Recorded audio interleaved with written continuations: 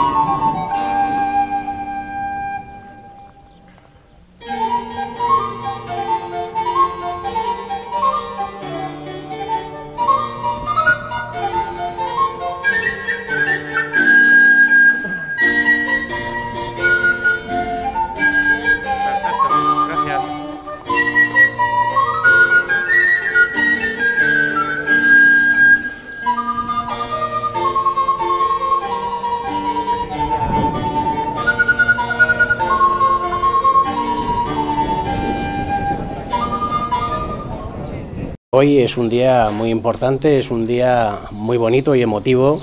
Y si me permitís, para Poblete y para este alcalde que viene luchando porque esto exista desde, desde hace tiempo cuando algunos no querían que existiera. Y bueno, a veces en soledad, después con, con compañeros, Pilar, pues creo que conseguir que esto que exista y que este parque arqueológico, como bien decía antes, tan importante, decía Macarena, eh, para nuestra historia, pues que estemos aperturándolo, pues yo creo que es muy importante. Importante también porque hemos estado viviendo unos meses muy duros. Eh, Poblete siempre ha apostado por el parque arqueológico, de hecho conocéis nuestra ruta virtual de la Batalla de Alarcos, el sitio histórico de la Batalla de Alarcos, que pusimos en funcionamiento pues justo, justo cuando llegó la pandemia y bueno, y hemos tenido que,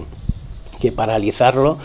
y era una ilusión tremenda lo que teníamos, era, pues siempre lo hemos hablado, que es un complemento al parque arqueológico, una forma de atraer gente aquí al parque arqueológico y, bueno, con unos resultados en el poco tiempo que, que, estuvimos haciendo la ruta, desde febrero, pues con un resultado increíble, porque poner en valor este parque arqueológico a través de la ruta virtual de, de la Batalla del Arcos creo que ha sido un éxito de las administraciones, Ciudad Real, la, la Junta de Comunidades y Poblete, y bueno, deciros que, que, hemos estado todos los domingos, hemos completado los grupos, hemos estado desde febrero hasta que hemos tenido que paralizarlo, pues mmm, con muchísima gente, siempre los grupos llenos, traíamos aquí, veían esto y se iban maravillados, tenemos una memoria hecha con los, con los con, con, las opiniones de los, de los visitantes y bueno, es una puesta en valor de lo que es la ruta virtual y sobre todo el parque arqueológico tremendo. Por eso tenemos que estar muy orgullosos de conseguir que esto exista y la parte que toca Poblete y este alcalde que, como diría en Amanece, que no es poco, el maestro rural nada más, pero creo que tenemos que ver mucho para que esto sea hoy una realidad. Por tanto, quiero pues eh, poner en valor el, el papel de, de, mi pueblo y de las gentes de mi pueblo para que esto también exista. Eh, agradecer a Traxa el trabajo que está realizando, porque es evidente que, que, aquí se nota la mano de Traxa en estos últimos meses y, y, nada, que disfrutemos todo este patrimonio tan rico que es, es patrimonio de los pueblos, de Ciudad Real, de Poblete, de toda Castilla-La Mancha y creo que, que, hoy se inicia un futuro pues muy luminoso para este parque arqueológico. Hoy, desde luego, creo que este es un gran momento para, para Alarcos. Y lo digo por cuatro razones fundamentales. Primero, por ese convenio que vamos a, firmar. Un convenio que viene a sellar la hermandad que tenemos que tener en, entre las administraciones para dar a estos, eh, a estos parques arqueológicos esa dimensión de red que hará que se potencien muchísimo más. Cada vez que nosotros hagamos una intervención en uno de los parques, servirá también para hacer una intervención en el conjunto de los parques arqueológicos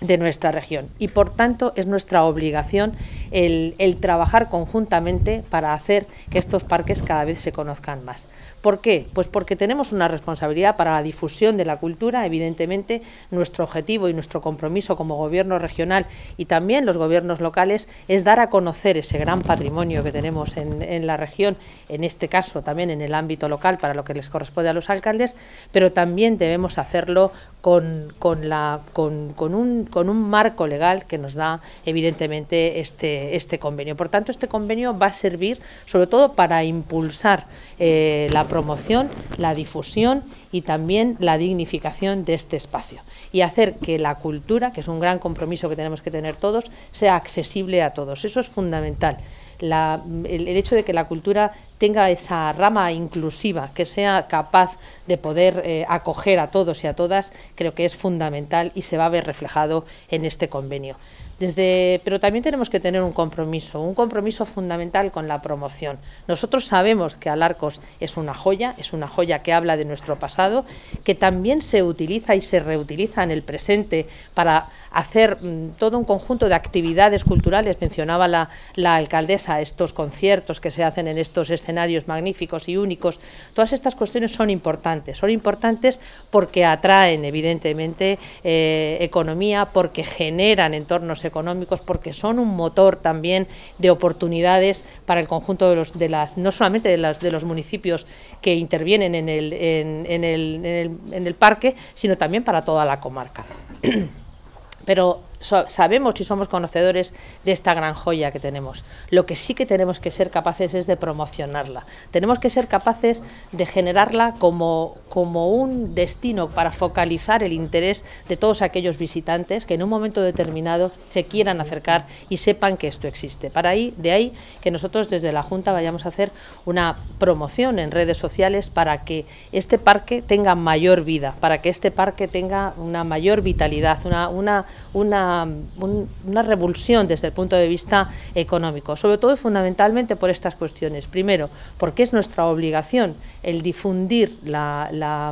nuestro entorno cultural, nuestro patrimonio cultural, porque nos sentimos orgullosos como gobierno regional de este patrimonio cultural y por tanto es nuestra obligación el darlo a conocer y sobre todo porque es una oportunidad desde el punto de vista turístico, desde el punto de vista eh, económico, el hecho de que esto pueda servir también como una forma y una fórmula de impulsar la economía de estos entornos. Unos entornos que en este campo de recuperación tras, tras este, este periodo de COVID va a ser muy necesario y va a ser esencial. No nos olvidamos de los, de los, eh, de los niños, de las niñas, de nuestros estudiantes y también en esta línea de promocionar nuestros parques vamos a hacer una campaña de difusión y de promoción de estos parques en los centros educativos para que también nuestros escolares puedan venir. Pero además yo les digo a todos aquellos que vengan a, conocer nuestro parque, especialmente el Parque de Alarcos, que van a contar con todas las medidas sanitarias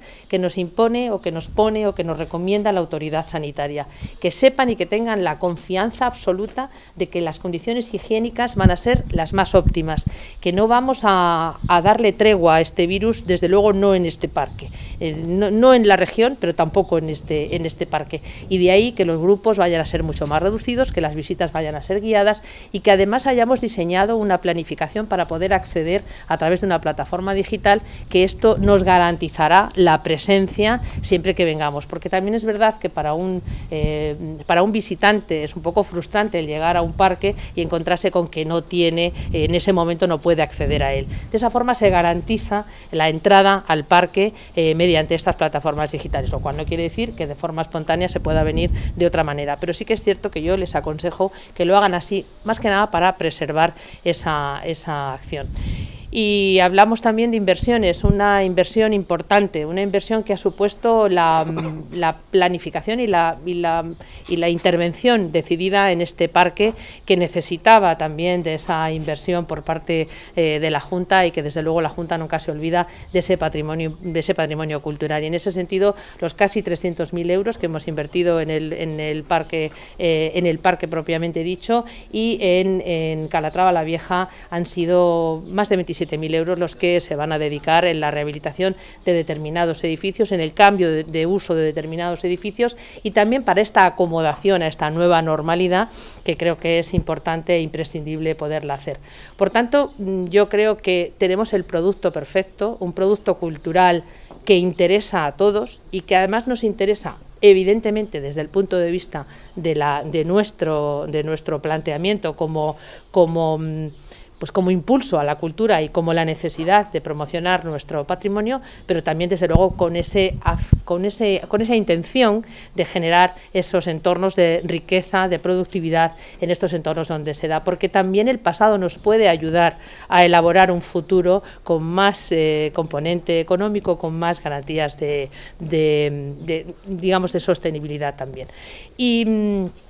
y hay cuestiones muy, muy bueno, también eh, quería, quería destacar otra, otra cuestión mm, muy importante y es de, bueno, pues el desear el mejor de los éxitos a todo, a todo a, los, a, los dos ayuntamientos. Creo que este paso que hemos dado adelante con la firma del convenio es importante y decisivo. Yo creo que habla de esa labor colaborativa que tenemos que tener. Las administraciones han nacido precisamente para ayudar a la ciudadanía y creo que este va a ser uno de los grandes recorridos que vamos a hacer, el ayudar a la, a la, a la ciudadanía. Y en esa ayuda también, esa aportación que ya abordó el presidente de Castilla-La Mancha cuando anunció que estos parques serán gratuitos también hasta el mes de diciembre. Es muy importante también que el acceso a la cultura sea para todos. Desde ese sentido y desde esa perspectiva de la inclusión, de la inclusividad de la cultura, desde esa, ese parámetro que tiene que tener. Yo por mi parte nada más